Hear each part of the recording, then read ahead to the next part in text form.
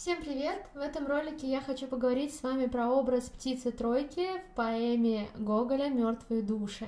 Но для начала познакомимся. Меня зовут Вариша Князева, я преподаватель по литературе в онлайн-школе Умскул. Я готовлю к ЕГЭ по литературе уже шестой год, и за это время обучила 668 стобалльников, помогаю ученикам по всей России готовиться к экзамену и готовиться к экзамену с удовольствием. Итак, перед тем, как мы начнем изучать э, эту замечательную поэму и говорить о образе, об образе птицы тройки, хотелось бы немножко поговорить про жанр. Про жанр, род литературы, потому что этот вопрос возникает постоянно. И у меня есть четкое письмо, четкий ответ от ФИПИ, какому роду, какому жанру относить это произведение, и смотрим ответ. Если в задании требуется определить жанр мертвых душ, то засчитывается два ответа поэма, роман. Если требуется определить, к какому роду относятся мертвые души, то предполагается ответ эпос, но засчитывается и ответ лира-эпос. Я своим ученикам обычно рекомендую писать э, жанр поэма, род литературы лира-эпос, потому что это авторское определение жанра. Давайте подробнее поговорим про поэму, почему же все-таки это поэма. Сам Гоголь говорил о том, что поэма это меньший род эпопеи, малое-значительное. То есть он пишет такие локальную историю, конечно, не гомеровского масштаба, но проблема сама по себе очень-очень важная, глобальная, ценная, поэтому эта история а, серьезная. Таким образом, он выделяет это с помощью поэмы. Ну и, конечно, особенная роль лирических отступлений. О них мы тоже с вами говорим. Возникает вопрос, зачем нужны лирические отступления? Почему Гоголь использует лирические отступления и какие виды лирических отступлений есть в этом тексте? Во-первых, лирические отступления выводят две роли автора – объективный наблюдатель и лирическое «я». Так постигается Россия, происходит постижение России и внешнее, и внутреннее, а вот лирическое отступление – это про а, лирическое я и про внутреннее, именно про внутренние переживания, про внутренние отношения и так далее. Отступление от сюжетной канвы, все-таки лирические отступления представляют собой отступление от сюжетной истории, а, от истории там Чичикова, его похождений, да, его действия, его путешествия и так далее а также развитие темы России формирование его, ее целостного образа. В лирических отступлениях раскрываются образы страны, раскрываются отношения к каким-то определенным явлениям действительности в стране. Более того, а, это авторские философские размышления о каких-то вечных вопросах, оценка поступков персонажей, их поведения, подробно описанный пейзаж и быт народа. Обратите на это внимание. Какие виды лирических отступлений существуют в поэме? Во-первых, очень много философских отступлений. В них автор рассуждает о жизни, о помещиках и чиновниках, о сложностях писательского ремесла и об искусстве в целом. Патриотические лирические отступления. В них автор рассуждает о судьбе России, выражает любовь к родине, намечает путь нравственного возрождения страны, рассказывает об умелом русском народе, описывая птицу-тройку, и как раз-таки эпизод с птицей-тройкой относится к патриотическим лирическим отступлениям. Конечно, это и лирические отступления рассказы, в них автор излагает отдельные истории, которые не связаны с основной линией повествования, но дополняют ее важными деталями. Примером таких отступлений служит повесть э, о капитане Копейкине, рассказ э, или рассказ о крестьянах, одного села. Вот об этом а, у нас с вами речь. Какие еще есть конкретные лирические отступления, что я рекомендую вам прочитать? Например, лирическое отступление о метком русском слове. Здесь, опять же, этот вид отступления относится к патриотическому. Здесь выражается мысль о силе и могуществе русского языка. Рекомендую прочитать лирическое отступление о двух типах писателей, о счастливом и о том, у кого суровая судьба да, э, рассмотреть а, две эти отдельные истории. Здесь выражает Гоголь свое отношение к писательству. Ну и, конечно, это «Русь, Русь, вижу тебя» о глубокой таинственной связи автора с Русью. Конечно, хочется отдельно остановиться на тройке. Это эх тройка, птица тройка о непостижимости, непонятности России. Давайте разбираться. Но первое, что хотелось бы сказать, то, что птица-тройка — это не птица, это упряжка лошадей, которая быстро мчится. Это тройка лошадей, которая достаточно быстро мчится. Образ птицы-тройки в поэме «Мертвые души» появляется в самом конце первого тома. Но ее идейная, композиционная и смысловая роль очень велика. Тройка в произведении появляется несколько раз.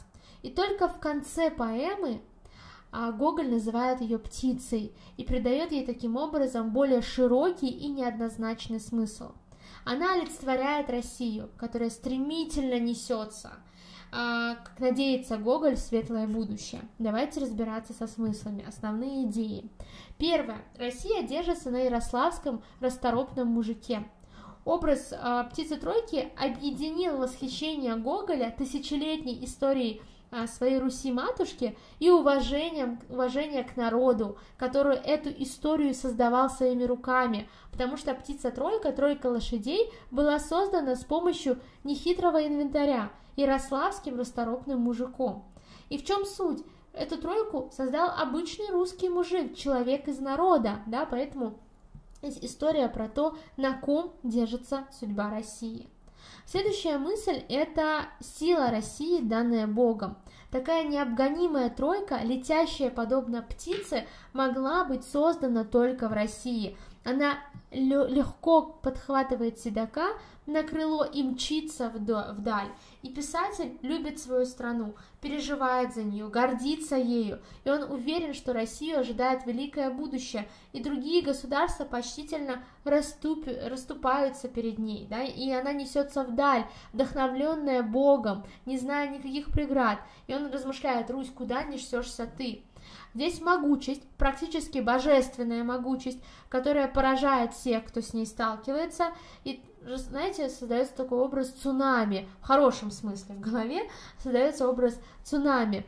Ты на него смотришь и поражаешься тому, сколько мощи в нем, насколько а, оно огромное в сравнении с тобой, да, и то же самое происходит с образом птицы тройки. Итак, и третий смысл – это то, что путь России уникален. С помощью своего излюбленного композиционного приема лирического отступления Гоголь обозначил главную мысль – свою тревогу и боль. Что будет с его страной дальше? И, конечно, писатель воплотил устремленную вперед Русь в образе птицы-тройки. Это художественное сравнение выразило всю его любовь к родине, веру в ее достойное будущее и стремительное, разви... стремительное развитие. И, скорее всего, эта самая Русь сама не знает, куда она несется. Вот чувствует, чувствуется а сила, да, чувствует она эту силу, этот порыв, и несется, и не раздумывает, и поэтому и дают ей дорогу другие, э, ну, закрывают ей дорогу другие народы и государства, она им видится чем-то непонятным, да, и они ее пропускают в итоге, пропускают, потому что она кажется им чем-то видимым, непонятным и даже пугающим из-за своей такой вот неизвестности. И согласитесь, даже когда человек предсказуем, им легче управлять, с ним легче договориться, а когда он себе на уме и несется, погруженный в свои идеи, на такого только посмотреть и отойти, а то мало ли что.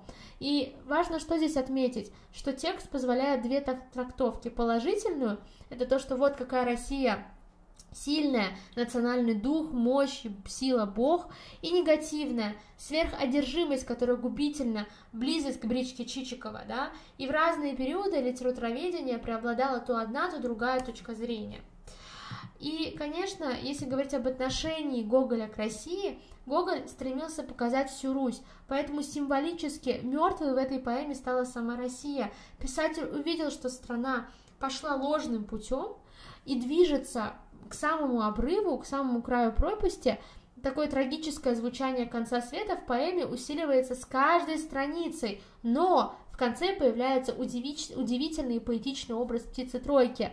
А под пером Гоголя бричка Чичикова в буквальном смысле трансформируется в стремительно несущуюся Россию. И, конечно, здесь выражается любовь к стране. А, конечно, нужно и помнить о, пороках и говорить о них, да, и считает, что бездуховность губительна для России.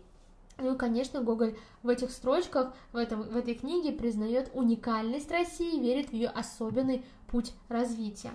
Также хотелось бы обратить ваше внимание на другие тройки а, в русской литературе. Например, а, Пушкин в стихотворении «Зимняя дорога» дает а, образ тройки, но здесь не то чтобы какой-то глубокий философский смысл заложен, тройка тут скорее как неотъемлемый атрибут русской жизни. У Некрасова в стихотворении «Тройка» здесь тройка, с одной стороны, как что, э, как то, что привезет девушку к лучшей жизни, поможет вырваться из ее страданий. С другой стороны, тройка бешеная, нет никакого шанса ее поймать. И третья трактовка – тройка как Россия, которая несется по своему пути и не замечает страданий народа, несется вперед. Ну и в стихотворении «Блок Россия» Здесь, конечно, нет слова «тройка», но есть отсылка к нему. Опять, как в годы золотые, три стертых треплются шлеи, и вязнут спицы расписные в расхлябанные колеи. Здесь шлея – это часть конской э, упряжки. И у Блока это ностальгия по той России, уже далекой, но настоящей для него, да, потому что живет другое время. Такое романтичное, элегичное настроение в этом стихотворении. Спасибо вам большое, что досмотрели этот ролик до конца. А с вами была Фариша Князева. Пишите свои вопросы, ставьте пальцы вверх, если вам нравится таки, такой формат коротких роликов. До скорых встреч. Пока-пока.